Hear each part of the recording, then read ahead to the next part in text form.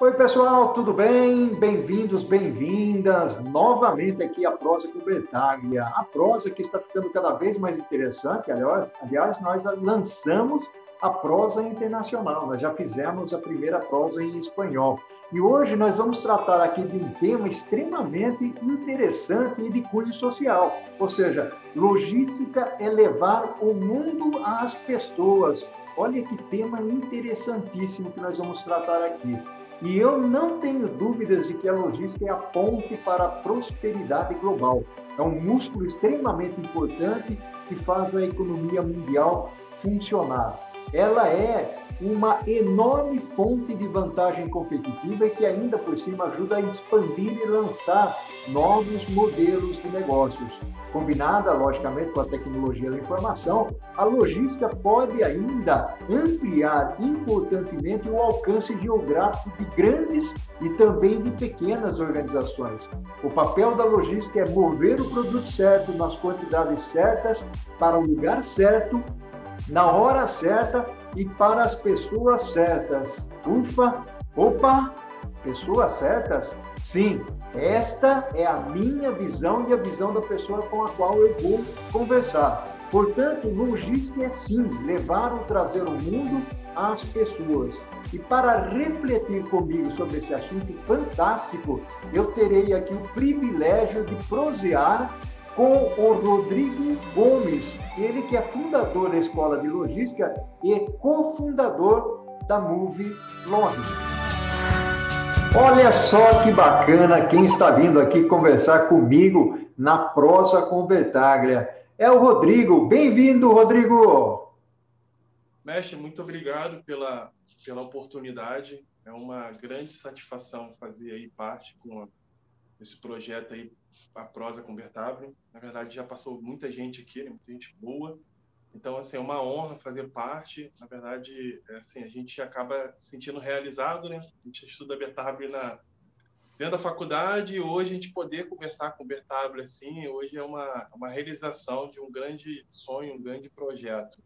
Então, mestre, muito obrigado aí pela oportunidade e espero que a gente possa agregar muito para o pessoal que está assistindo a gente aí e com certeza a logística hoje é levar o mundo às pessoas. A gente tem que pensar que do outro lado tem um cliente, tem uma pessoa que ela tem um sonho. E hoje vamos pensar numa mãe que compra um presente para seu filho e espera que esse presente chegue na data correta, na data do seu aniversário. Imagine que frustrante esse presente chegar após essa mãe comprar. Então a gente trabalha muito com essa coisa de levar o mundo às pessoas e realmente os sonhos das pessoas. Então a logística ela trabalha muito com isso.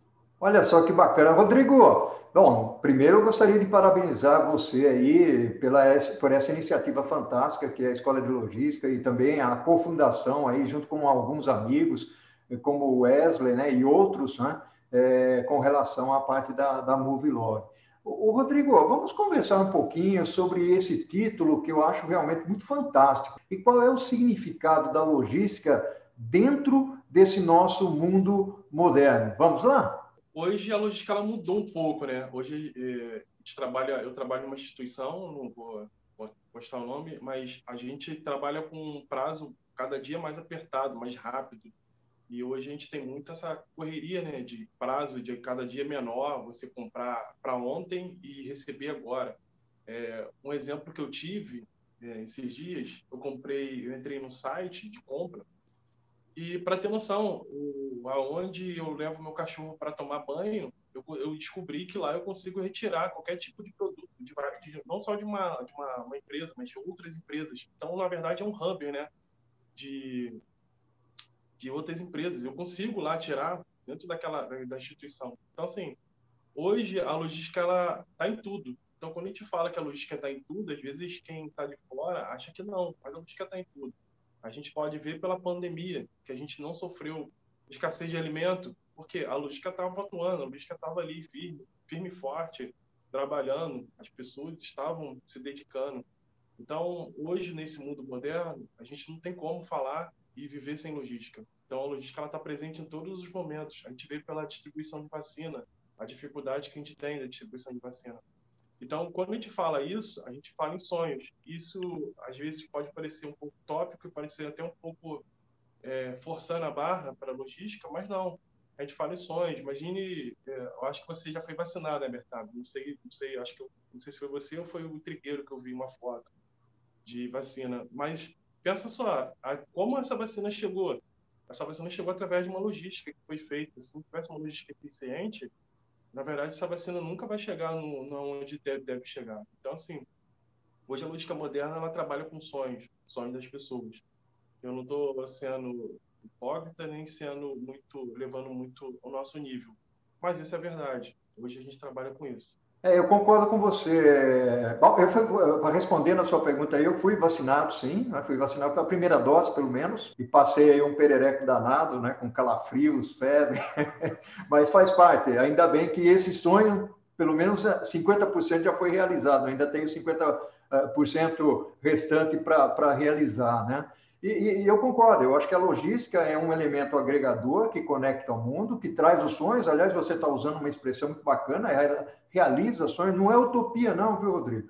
Não é utopia, ou seja, esse mover né, é, daqui para lá, de lá para cá, isso realmente realiza os sonhos da, das pessoas né, e, e cria, não, não só isso, cria valor para o mundo dos negócios e para o mundo das pessoas. Então, quando nós falamos que o Rodrigo que a logística não é apenas movimentação de produto, mas ela leva é, eventualmente elementos abstratos, porque o produto é concreto, é tocável tal, e o abstrato é esse sonho que você está falando aí. Então eu gostaria de explorar um pouco mais esse aspecto de conexão com pessoas, de logística fluida. Eu costumo dar o exemplo, viu, Rodrigo, da, da feijoada, né? Que a feijoada, para você fazer uma feijoada é muito importante ter um planejamento sólido e uma logística consistente, olhando por todos os aspectos dela, né? Então, vamos, vamos seguir nessa exploração da, da, da logística aí, é, principalmente no aspecto de conexão com pessoas, Rodrigo. Então, hoje, hoje é muito engraçado. A gente vê essa conexão, né? Hoje, eu lembro antigamente quando eu comecei a, a, a 16 anos atrás, quando eu comecei na logística, é, para explicar o que era logística, para, por exemplo, para minha mãe, era quase surreal. Minha mãe não entendia o que era logística, ela achava que eu trabalhava como ajudante de caminhão. E hoje eu vejo as pessoas entenderem realmente que é logística, a gente vê nos jornais pessoas falando sobre logística, e, na verdade, a logística hoje ela está se moldando, ela está interagindo com pessoas. As pessoas entendem que a necessidade da logística, o cliente ele sabe que é um diferencial para qual empresa ele vai comprar e qual empresa tem a melhor logística. Por exemplo, essa correria que nós vemos aí de, de as, botar as quatro maiores empresas de e-commerce, na verdade, essa ocorre uma interação com o cliente. Eles entendem que a necessidade do cliente hoje é não perder tempo. As pessoas não querem mais perder tempo. A pessoa não quer mais esperar um mês para poder receber um produto em casa. Não tem mais esse tempo. As pessoas entenderam que a, a vida parece que ela está cada dia mais corrida. Cada dia que, parece que cada dia mais a gente quer, anseia mais, mais tempo. Então as pessoas entenderam que o tempo é escasso. Nosso tempo ele é limitado. Ontem tempo que você gastou ontem não volta hoje. Uhum. Então, o cliente entende isso. O cliente entende que o tempo dele é, é curto e, e vale dinheiro. Então, assim, é, a gente, quando a gente começa a pensar dessa forma, a gente começa a ver que a logística, na verdade, é uma, uma, situação, uma coisa estratégica, porque a logística é tempo versus informação. E uma das bases que, que eu vejo aí sempre é isso, né? E eu acho que a gente estuda isso na academia, provavelmente no livro de vocês, que a logística é tempo. Se a gente não trabalhar em cima de tempo, a gente não tem como. E o tempo é escasso.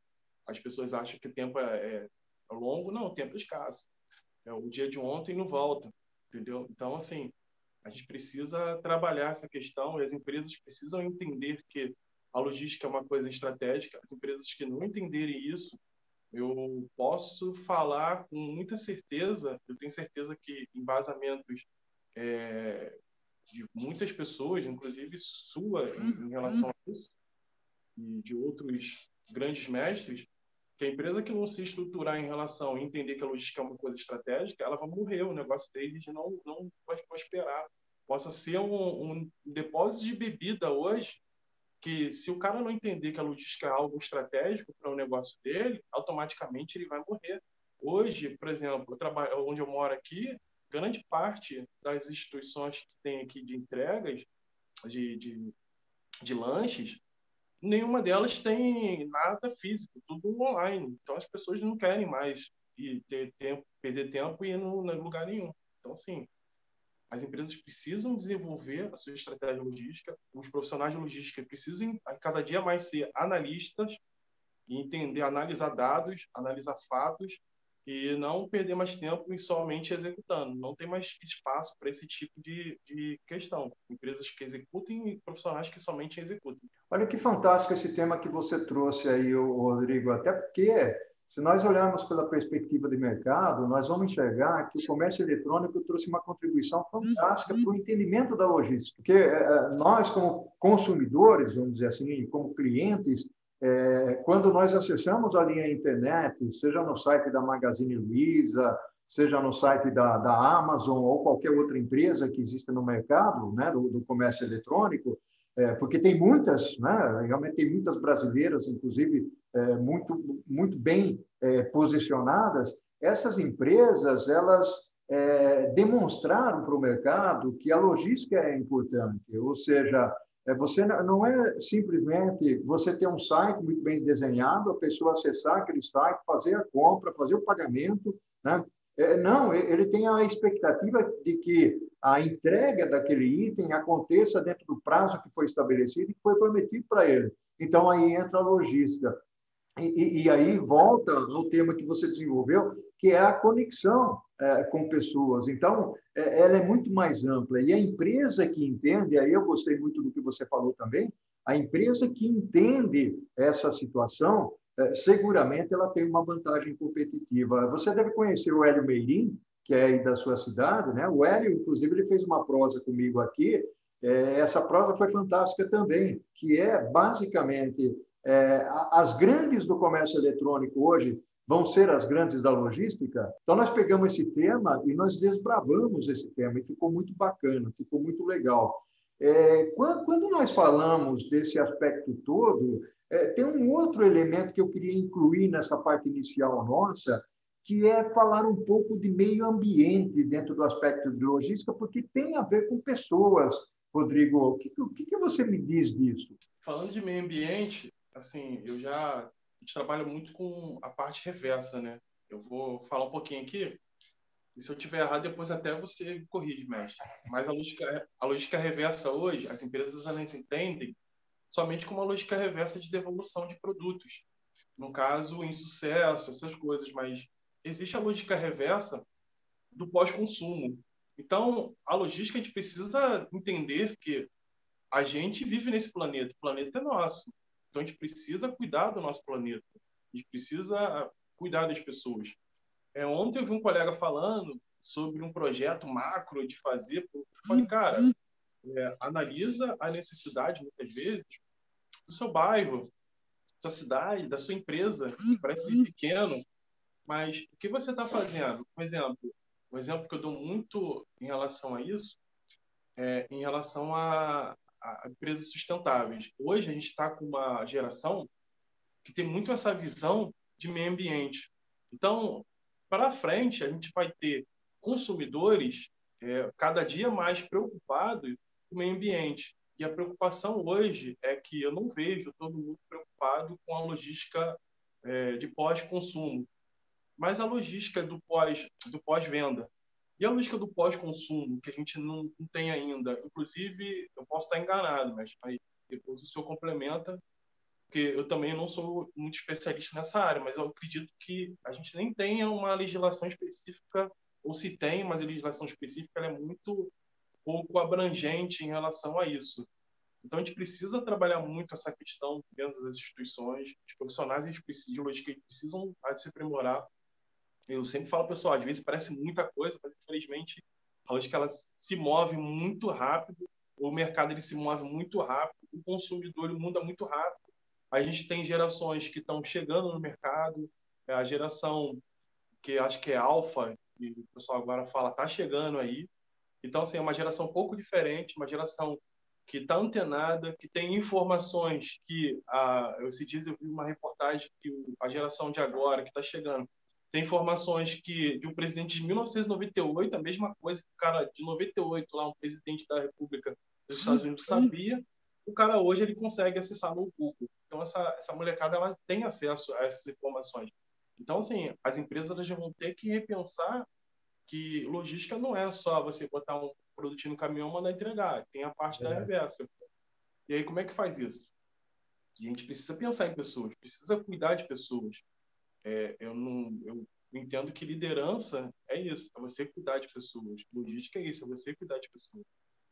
Fantástico, bacana. Gostei muito do que você falou. Aliás, quando você estava falando aí que as coisas mudam, evoluem, eu estava lendo uma reportagem esses dias, num jornal de 1904, Rodrigo.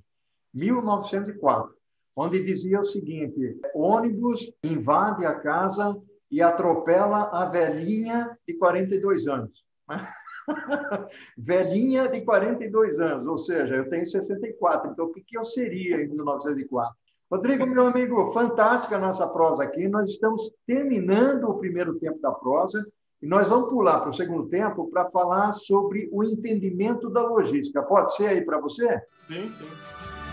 Fantástica essa nossa prosa, Rodrigo. Estou gostando muito, realmente. Né? A história da velhinha aí é mais uma piadinha, mas é verdadeira. Tá? É uma manchete que está num jornal de Portugal que me foi passada, inclusive, pelo amigo Luiz Rasquilha, um grande amigo aqui, um português que está no Brasil há mais ou menos 10 anos. Rodrigo, você que está aí no Rio de Janeiro, né? bacana a sua presença aqui.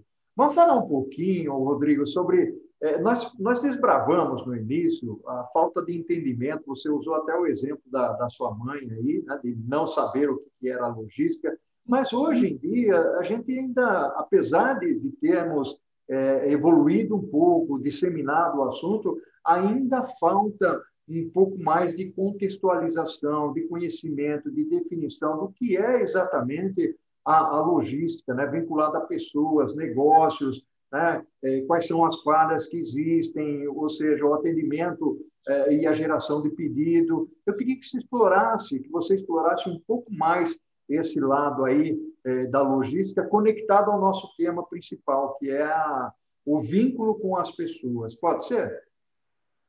Pode, pode. Então, é, quando a gente pensa em, em logística hoje, e quando eu falo assim, levar o mundo às pessoas, a gente pensa o seguinte, eu vou dar, eu vou entrar num exemplo aqui. É, há um tempo atrás, a gente, resolveu comprar um produto da China, que na verdade era uma fantasia para minha filha. A gente viu, que ela viu no site, que o único lugar que tinha era esse, era esse lugar e na verdade ela comprou esse produto e esse produto não chegou. E não chegou na data certa, né? Que era o aniversário da minha filha. Então foi um, pro, um pouco é, frustrante para ela, hum. minha filha, em relação a isso. E quando a gente fala a logística ligada às pessoas, a gente fala disso. E quando eu falo assim, levar o mundo às pessoas, é justamente pensar que, é, imagine 1904, como seria? A gente não conseguiria comprar produtos lá da China. Muito raro, muito difícil. Então, hoje, a logística ela tem essa interação, essa ligação com pessoas. Ela consegue ligar pessoas, consegue ligar produtos, consegue ligar empresas é, é, a, a, entre si. Então, a logística hoje, ela.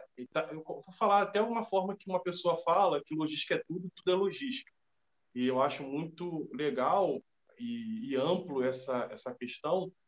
Por quê? Porque a gente, tempo atrás, a logística era muito limitada. Então, hoje não. Hoje a gente pode pensar de uma forma ampla. E para quem não entende o que é logística, a gente pode pensar da seguinte forma. É, imagine você, eu, eu olho muito e-commerce, eu trabalho na área de e-commerce. Então, uhum. eu, quando eu paro para explicar às pessoas, imagine você é, indo fazer compra numa, numa, vou botar aqui, Vou falar, vou fazer uma propaganda 0800 aqui, no açaí da Vila.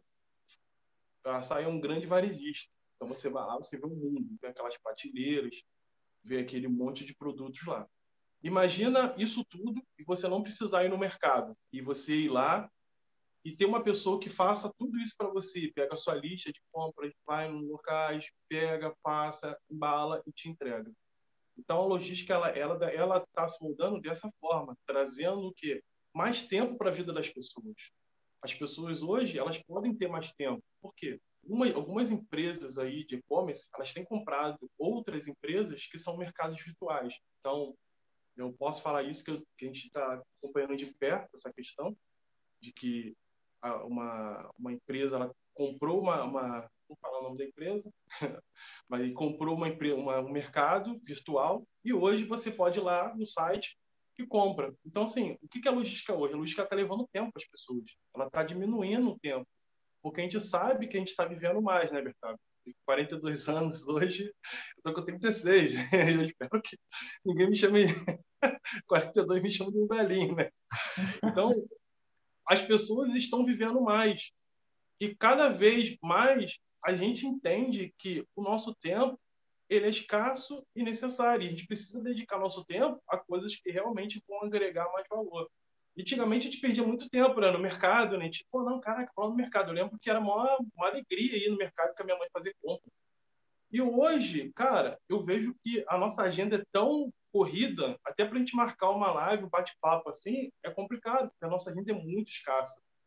Então, o que, que a logística ela traz hoje para a gente? Ela traz esse comodismo de você conseguir dedicar o seu tempo. Então, cada dia mais as empresas estão pensando de forma estratégica, utilizando a logística para trazer esse conforto para o cliente. O cliente hoje vai chegar, eu espero que até dois, eu fiz uma projeção que me chamaram de maluco.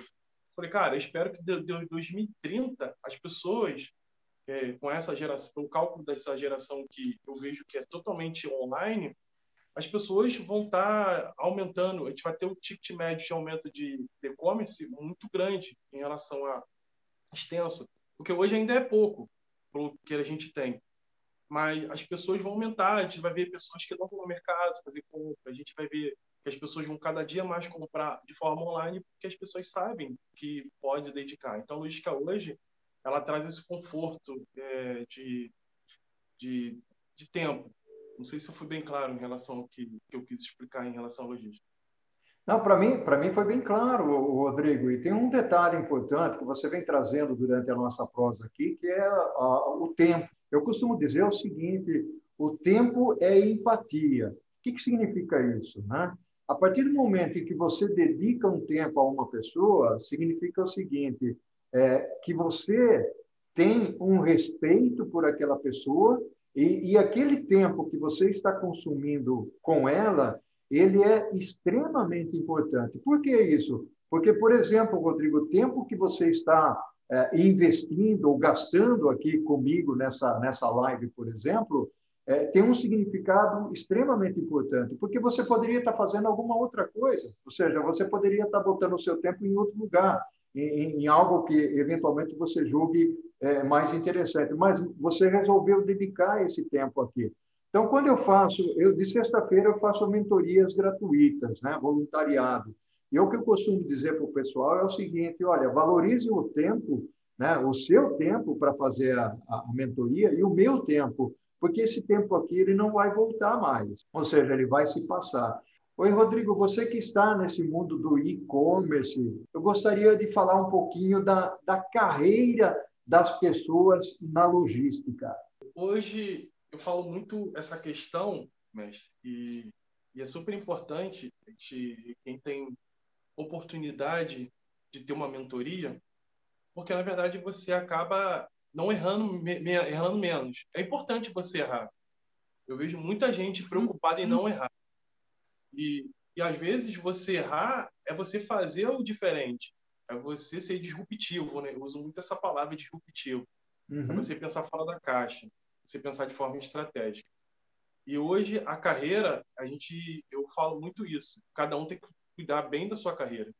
E a carreira logística hoje, ela, um tempo atrás, ela foi um pouco desvalorizada, né? A gente fala muito isso. E muita gente deixou de ser logístico para seguir outras áreas, somente pela falta de valorização. Mas hoje é uma carreira que vem se valorizando, vem se aprimorando. O que que eu falo muito para as pessoas que acompanham a gente na escola de logística? Cara, é, você não tem que visualizar as pessoas que não estão dando certo. Visualiza as pessoas que estão dando certo. Copia é. aquelas pessoas que realmente você fala assim, cara, aquele cara deu certo. O que, que o cara fez de diferente das outras pessoas para poder conseguir chegar onde ele está? O que, que eu posso fazer de diferente? É ontem, eu conversando com um colega, ele perguntou assim, Rodrigo, o que, que eu faço de diferente na minha empresa para me destacar? Eu falei assim, cara, o que, que tem de oportunidade de melhoria dentro do seu setor? Ele, ah, não, tem vários. Falei, cara, então olha só, eu vou te dar uma dica. Sua empresa trabalha com sistema de PDCA? Não. Então, cara, pronto, o PDCA é a coisa mais fácil que tem. Você vai lá, analisa quais são os problemas que você tem. Então, assim, eu falo muito isso, que o logístico hoje, ele precisa ser um cara que se incomode e resolver os problemas, primeira coisa, e não pode empurrar os problemas para frente. Segundo, o cara tem que ser analista, analisar, não só executar. Às vezes, as pessoas perdem muito essa coisa de não, que eu vou executar, que eu vou fazer, que eu vou correr. Cara, já foi época disso. Para, analisa, pensa o que vai fazer, planeja, desenvolve, cria controles, cria ações, faz todo um PDCA. Hoje a gente tem ferramentas que nos ajudam a pensar de forma diferente. É, empresários que também se afobam e entram em coisas que não tem necessidade de fazer. Então, assim, hoje a gente precisa planejar. Hoje a logística é mais planejar e depois executar. E eu lembro que o, o, o Trigueiro fez uma, uma, uma, uma live com o Trigueiro eu não lembro como é que ele fala, que ele fala que o nosso PDCA é o contrário. E, e, e, às vezes acontece muito isso. Então, assim, o logístico ele não pode cair nessa questão de ter um PDCA ao contrário. Ele precisa uhum. pensar. Às vezes você vai gastar tanta energia tentando resolver um problema, mas se você parasse e pensasse, analisasse essa questão, de repente você ia gastar muito menos energia, muito menos tempo. Que a gente está falando aqui. A logística é tempo. Quem resolver primeiro aquele problema vai estar lá na frente ganhando o, o, o bônus. E aí, às vezes, o cara fala assim, porra, é, o cara foi promovido, eu não fui, eu fiz tanto, mas é resultado. O logístico hoje, que não bate seus indicadores dentro das empresas, profissional em geral, cara, infelizmente não tem como. Então, assim, o cara acha que ah, eu trabalho muito. Não é só trabalhar muito. É alcance seus indicadores para você conseguir galgar sua carreira da melhor forma possível. Se você não alcança indicadores, não tem condição. Por exemplo, você tem indicador X, Y, Z. Cara, tem gente que eu conheço, conversando com, com alguns colegas, assim, eu não faço mentoria ainda, mestre, mas eu converso com algumas pessoas, elas perguntam como é que faz. Pergunto, a primeira coisa que eu pergunto, cara, quais são os indicadores? Pô, eu não sei. Quais são suas metas? Não sei. Como é que você vai conseguir ser promovido? Como é que você vai ser um gestor se você não sabe suas metas, seus indicadores, como desdobrar seus indicadores para sua equipe. Se você faz isso tudo, automaticamente, o seu sucesso, ele vai bater, o sucesso vai bater na sua porta, porque você sempre vai se, vai se destacar. Quando você for fazer uma apresentação para sua gerência, para sua diretoria, para sua presidência, e falar assim, aqui, meus indicadores estão aqui. O que eu não alcancei é por isso, por isso, por isso. Ponto. Tem que alcançar. Hoje, o profissional de logística que quer se destacar, ele precisa planejar precisa alcançar os indicadores e precisa ser líder. E ter essa questão da empatia com pessoas. Se colocar no lugar do outro, entender que as pessoas têm problemas, as pessoas têm dificuldade, precisa desenvolver novos líderes. Rodrigo, fantástico, meu amigo. Uma, umas dicas aí extremamente interessantes. E vou dizer uma coisa para você, Rodrigo. Eu não sei se você percebeu, voou a nossa prosa aqui né? passou voando. Citamos aqui algumas pessoas interessantes, né? Fernando Trieiro, o Fernando é um grande amigo de longa data, conheço pessoalmente, já estive com o Fernando lá, lá em Olinda, lá em Recife também, né? É, ou seja, fiz uma visita lá para ele, fui dar uma palestra lá há, há um tempo atrás. Meu amigo, ó, chegando ao final, um forte abraço para você, né? um abraço virtual, tá? Tudo de bom para você. Quer deixar uma mensagem aí, final? Eu só queria agradecer e, e falar que, que, na verdade, hoje eu estou realizando assim, um grande sonho, porque, na verdade, a gente sempre acompanha o Bertable, né? estuda o Bertable, que eu falei desde o começo, e é um grande mestre, Bertable. Muito obrigado pela oportunidade de estar aqui fazendo essa prosa e dizer que para todos que não desistam do sonho de vocês, cara, é, não desista, mesmo que seja o mais impossível, o mais difícil, se dedique e deixe à disposição aí meus contatos, procura a gente nas redes sociais, o que vocês precisarem está à disposição. E tamo junto. Vamos lá, vamos para cima, vamos transformar essa logística e levar a outro patamar. Bacana. Ao infinito e além. E eu admiro muito vocês aí, principalmente tem uma juventude muito forte aí, é, fazendo as lives, divulgando, disseminando a logística. Eu já estou perto dos 65 anos, tá? Ah, me chamam de blogueiro, nem sei o que é isso, né? É, mas eu estou tocando a minha vida aqui, fazendo as minhas consultorias, ainda tem bastante consultoria, né? ainda tem um gásinho. Enquanto eu tiver condições de, né, de respirar, eu vou em frente. Quando não puder mais, aí a gente dá uma parada. Abração, Rodrigo. Você, Trigueiro e, e você, Trigueiro, um rapaziada aí, são os maiores influências nossa, nossa aí. que bacana, eu fico feliz, então, é, principalmente em tê-lo aqui, é, conversando com, nessa prosa aqui e com as pessoas que acompanham a prosa com o Betânia. Um abração, Rodrigo. Um abraço, obrigado, mestre.